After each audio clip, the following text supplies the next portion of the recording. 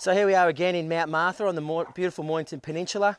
Um, what we can see here is a typical pentablock retaining wall. As you can see, the blocks simply just get dropped on just like that. Core filled, core filled with concrete and it's full of steel as well.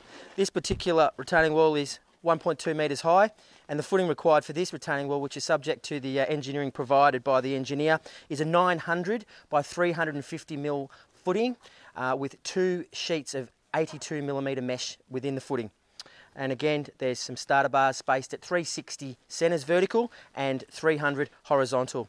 Again, uh, each project will defer um, in terms of engineering. Uh, we do provide some basic engineering guidelines uh, within our information on the website in our uh, technical brochure you can download there. Uh, that is certainly not an engineer certificate, but you can use that uh, as a guideline and, and, and to help you estimate your project costs based on the drawings that we have on the internet for, for you look at.